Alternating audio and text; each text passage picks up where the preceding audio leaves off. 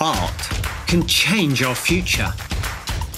Travel with me, artist John Dyer, and artist Joanne Short.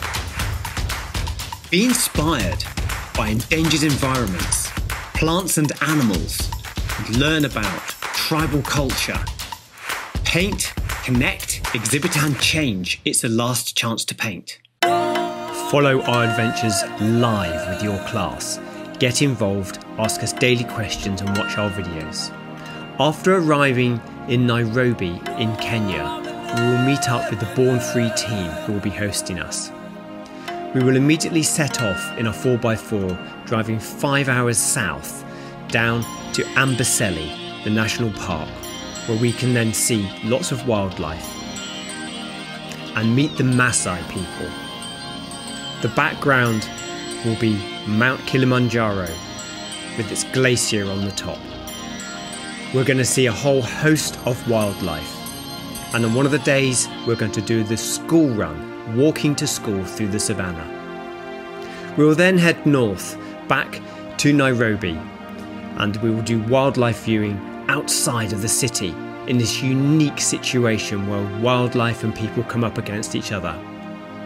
Again, in a 4x4, we will explore with you and we will paint the wildlife of Africa. The next day, we're going to go north, past Mount Kenya, and up to Ol Pejeta, where the very last two northern white rhino are. We'll look into why this species is on the edge of extinction.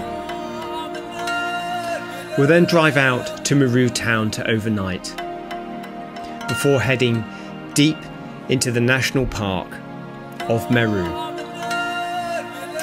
There again, we are going to see wildlife and talk about the whole ecosystem of Africa.